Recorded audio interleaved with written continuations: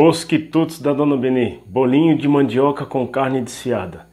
Ingredientes: 300 gramas de mandioca, 250 gramas de patinho cortado em cubos, 100 gramas de farinha de trigo, 100 ml de água, 50 gramas de manteiga, 5 azeitonas picadas, uma colher de sopa de óleo, um dente de alho, sal a gosto, orégano a gosto.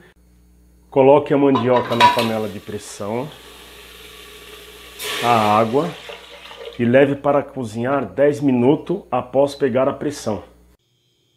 Coloque a carne na panela de pressão. Dore todos os lados. Coloque a água e leve para cozinhar 30 minutos após pegar a pressão. Após 10 minutos, abre a panela. A mandioca está pronta. Coloque em um refratário e deixe esfriar. Após 30 minutos, a carne está cozida. Coloque um refratário e deixe esfriar. Coloque a carne dentro do multiprocessador.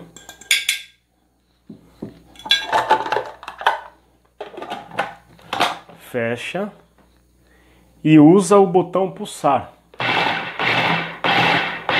para desfiar a carne.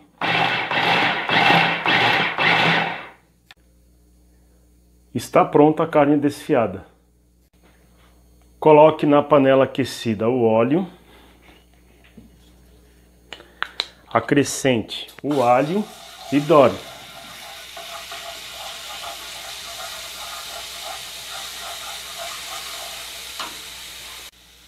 Acrescente a carne e misture. Coloque orégano a gosto, sal a gosto e misture. Acrescente azeitona, misture e está pronto o recheio. Coloque a mandioca cozida no multiprocessador e bate por 3 minutos. Coloque na panela a manteiga, a mandioca, a água e misture. Deixa ferver. Acrescente orégano a gosto, sal a gosto e misture. Acrescente a farinha de trigo e misture até dar o ponto da massa.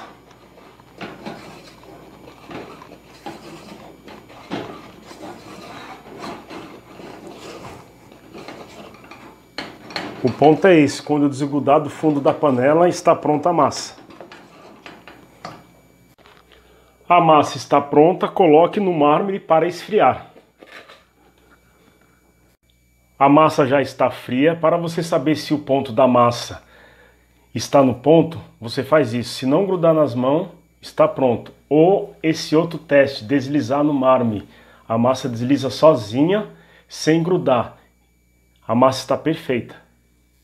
Porcione a massa, 20 gramas cada.